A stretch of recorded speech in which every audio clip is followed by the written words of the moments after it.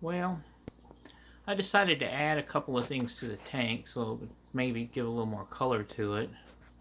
Unfortunately, one of the uh, fish there in the middle, the big one, I think the uh, other one, well, the other one died when I got home. I discovered it.